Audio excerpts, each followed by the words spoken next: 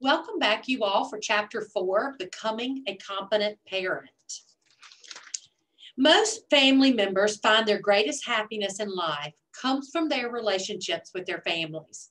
Although family is the most meaningful relationship in people's lives, it is also the most demanding. Parents may tell you that having a baby is easy, but raising them, well, that can sometimes be difficult. Becoming a caring parent requires more dedication, patience, persistence, and control than anything else that people do. To become competent with any skill requires study and experience. Parenting competence is no different. Becoming a competent parent requires learning what is needed to become a good parent. So let's talk a little bit about that. So let's talk about family relationships and how they relate to parenting.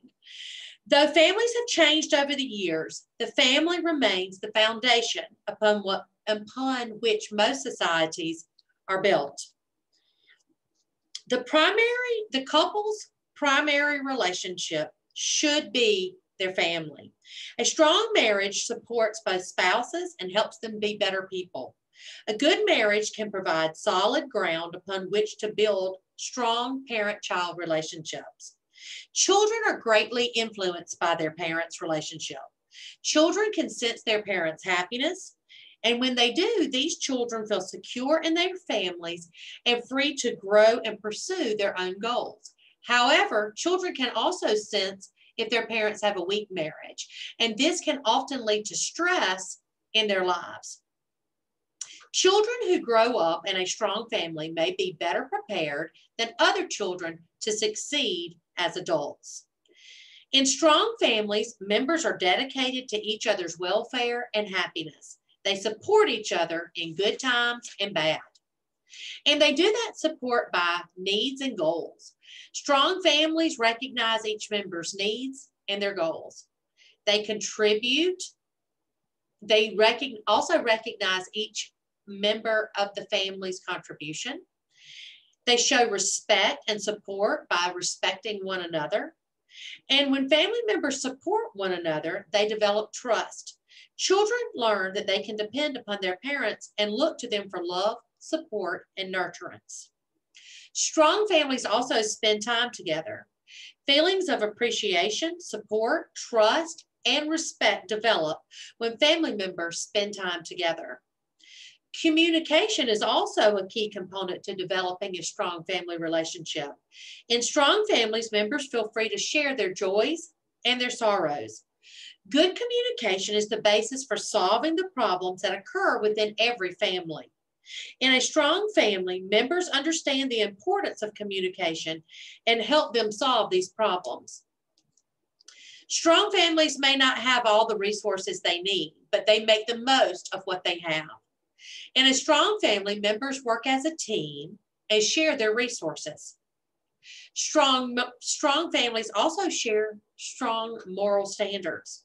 Moral standards may be an expression of religious faith. However, they can also stem from a natural concern for other people and the world in which they live. A sense of family identity comes from family rituals and traditions. Children learn very early that their families have special ways of doing things. So, how does parenting support child development? And why do parents need to know about child development? Parents need to support Parents need to support development by having realistic expectations and attitudes. Research shows many parents do not know enough about child development. Effective parents need to understand how children grow and develop. Growth is a process that begins with pregnancy and continues through adulthood. Growth refers to an increase in size, strength, or ability. Development, however, means a change of function as a result of that growth. Development refers to progress in skills and abilities. And development, development is me measured, excuse me, in stages. And it occurs in a very orderly sequence. And we know about child development from the three areas of development, physical development, intellectual or cognitive development, and then social and emotional development.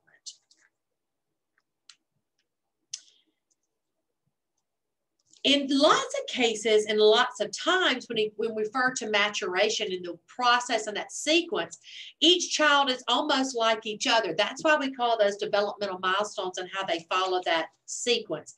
However, each child is also like no other, and that comes from heredity.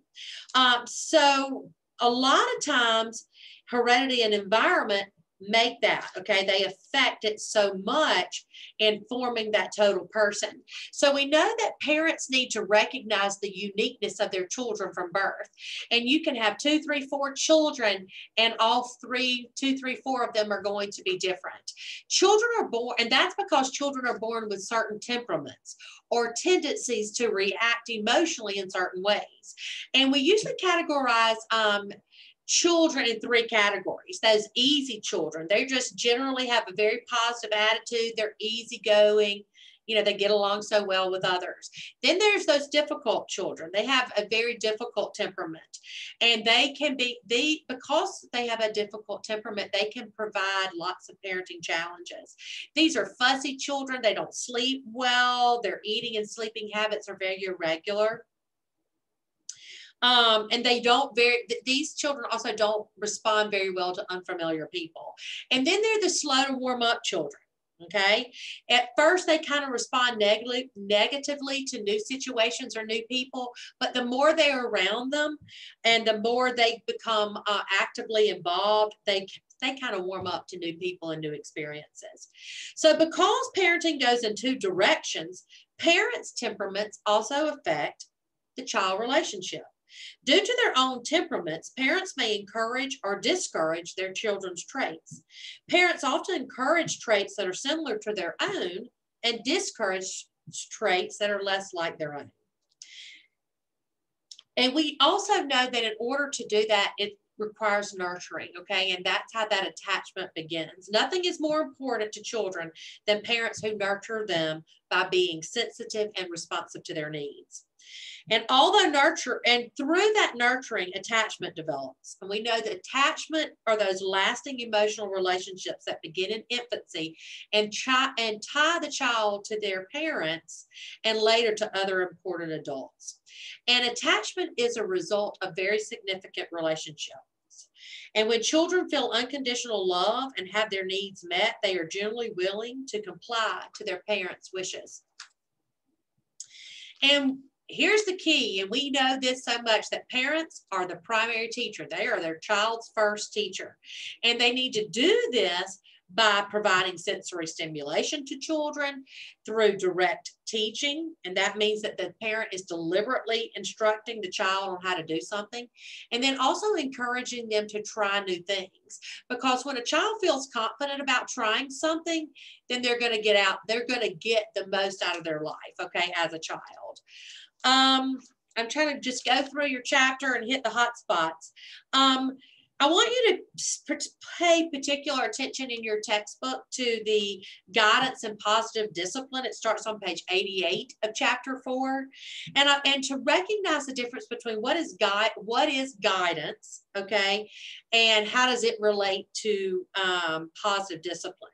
Now, guidance is the act of directing and influencing a person towards a very specific behavior, okay? Um, and it's a it's an ongoing process. You don't do it one time and then forget about it. You got to do it over and over and over again. And guidance can be direct or it can be indirect. Um, direct guidance includes directing and supervising children until they have self-control. And then but indirect guidance can be how parents influence their children by their positive actions, such as their parents practicing self-control. Okay.